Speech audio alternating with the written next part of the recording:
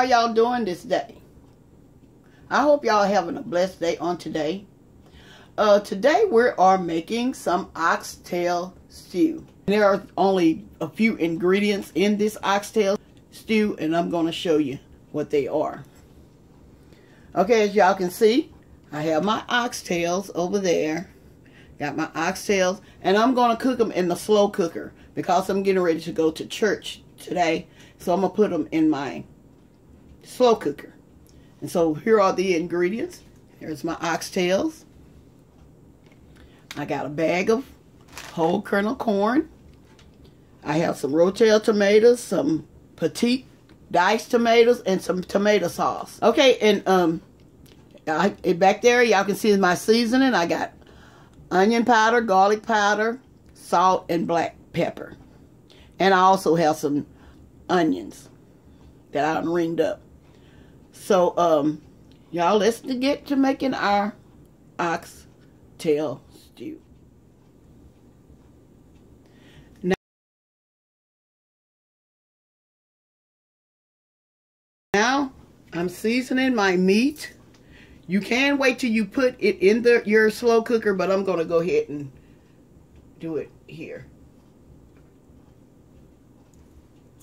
I'm putting one tablespoon of garlic powder, one tablespoon of onion powder,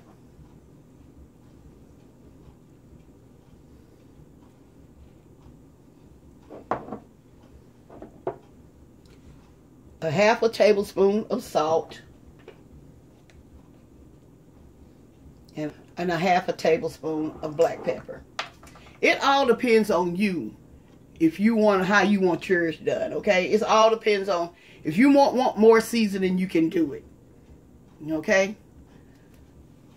What I'm doing now, I'm mixing it all together. We want it all to be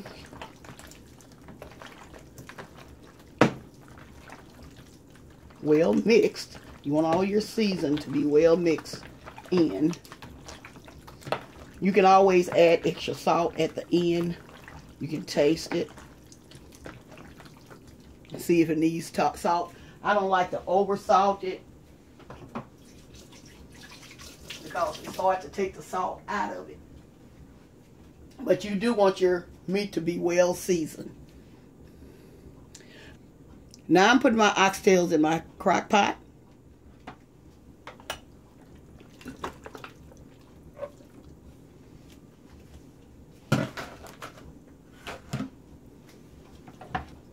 Here, let me bring up a little closer. Here, I'm adding some water.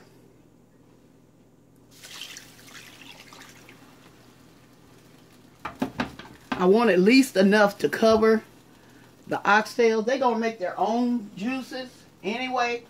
But I'm going to add just a little bit of water in it. Because like I say, I'm making a stew or you can make, say, a, stew, a soup.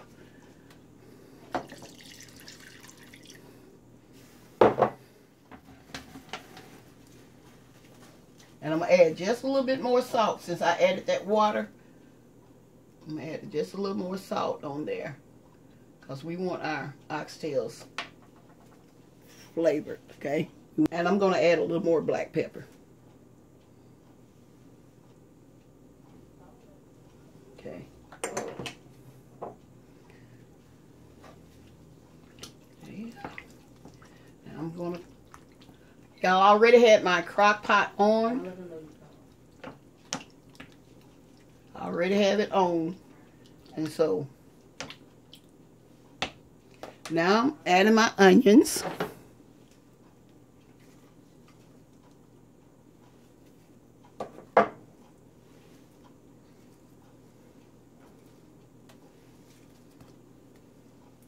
The reason why I ring my onions up reason why I ring my onions up is because some of my kids don't like onion, y'all. Some of them don't like the onion. They like the onion powder, but they don't like the...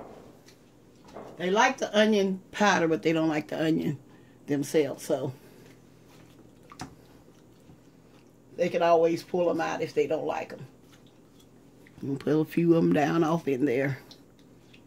soda for the flavor.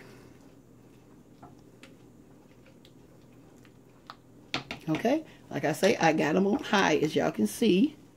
I got them on high. And I'm going to let these ball until I get back from church.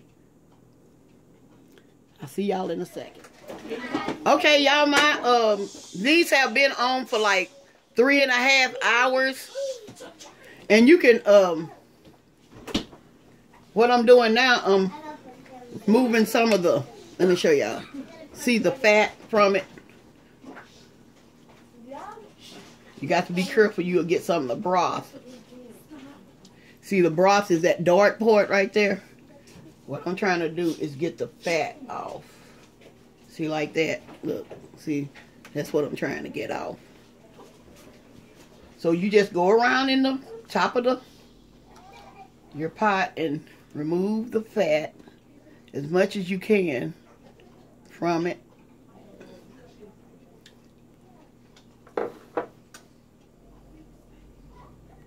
See, we don't want to get too much of the, we don't want to get the broth off here because that's the flavor of your oxtail.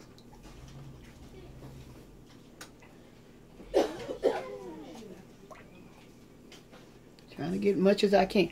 That's that's what you do. Just go through and just get as much of it I'm not going to get all of it. I'm getting majority of it all. But you just, it's up to you how much you want off of there. It's up to you.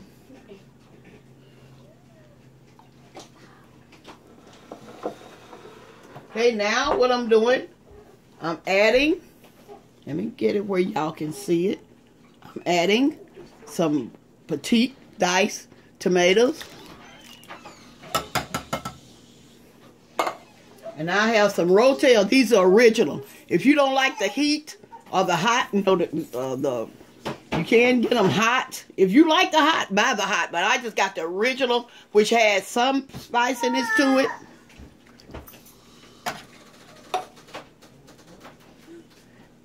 And I'm also adding some tomato sauce.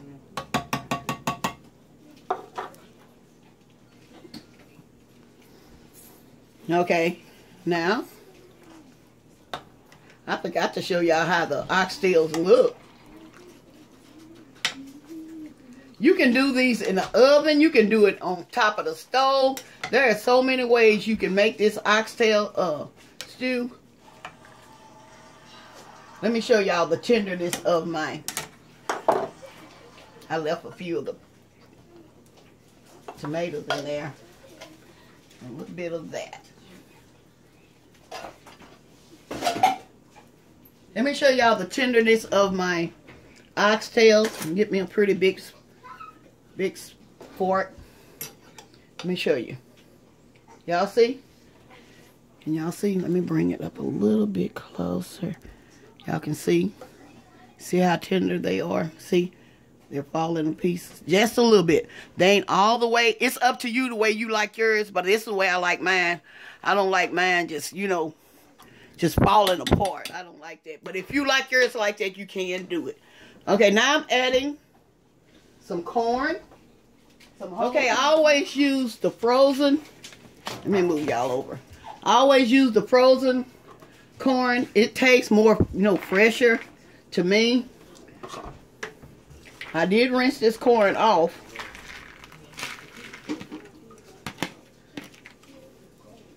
Just cause it's in a in a package don't mean you don't you can't rinse it off. You can always rinse it off. The way I'm looking at this, I'm going to have to add some more tomato sauce. Because I like the broth when it's a little more thicker than this. Y'all, this is so simple to make. And we're almost done. Right now here, you can taste your broth to see if it has enough salt in it. This is a good time to do it. I think I'm going to add just a little bit more corn. I'm going to add the rest of this corn, just a little bit that I got left. I'm adding the rest of that corn.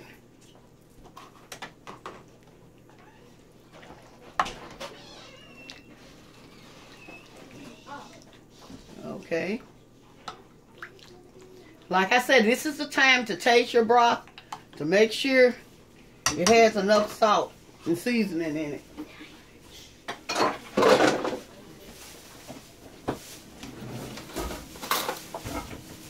Let me taste it. See, I need some more salt. I'm going to add some more salt. It's up to you how much salt to use. It's up to you. If you like yours with a lot of salt, you go right ahead.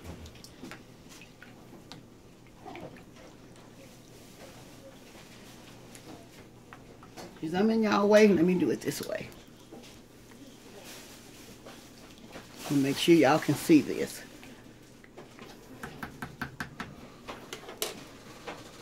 I'm gonna see if I can take some a little bit more of this this uh the fat off of it.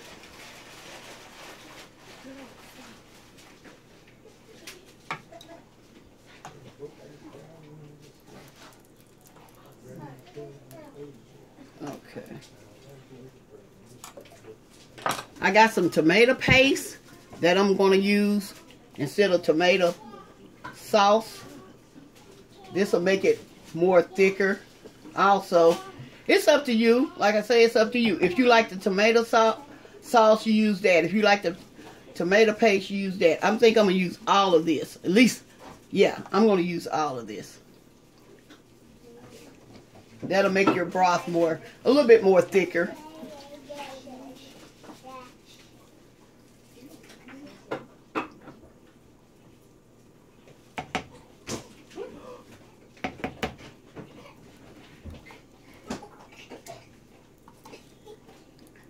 We'll go ahead and just use the whole can. I'm putting the whole can of tomato paste in here.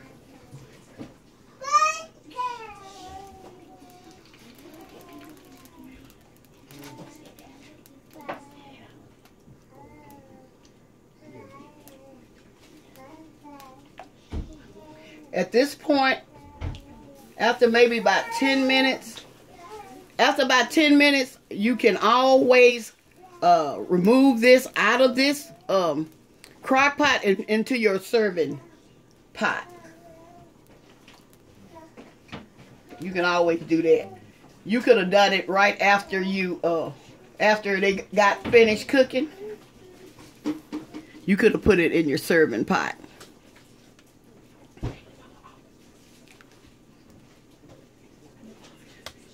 Okay, I'm going to let this cook just a little bit longer.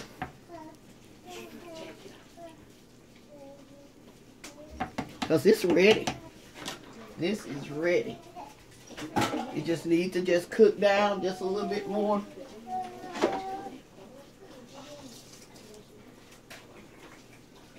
I'm going to wipe my pot up a little bit.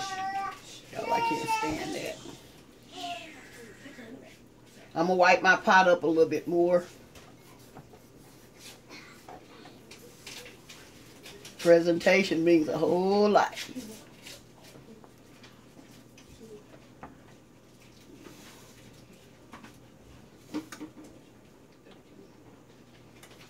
Okay, I'm gonna let that cook just a little bit more for may, maybe, like I said, if you want to, you can remove this from this pot. And y'all be very careful because this can be get hot now.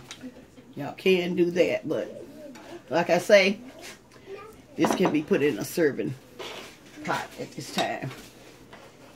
Okay, soon as this get ready, I'm going to be right back. Okay, y'all, I'm back. As y'all can see, I did transfer my oxtail stew uh, in another pot here.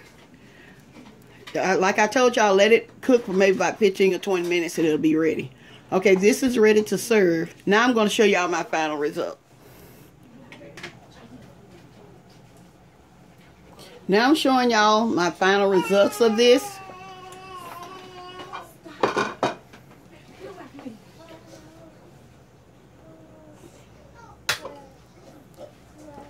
Let me bring it closer.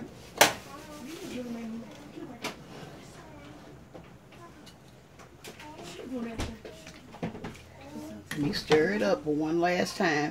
Make sure you stir it up really good, okay? Here's my bowl. Yes.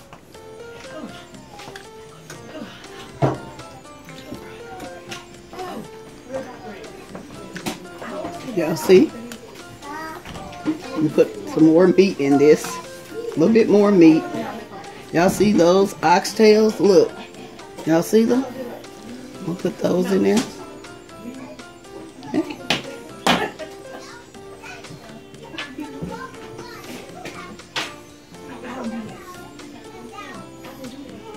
Okay, here's my oxtail stew. I hope y'all enjoy my recipe. I'm getting ready to close. And I'm going to say, y'all have a blessed day. And bye-bye for now.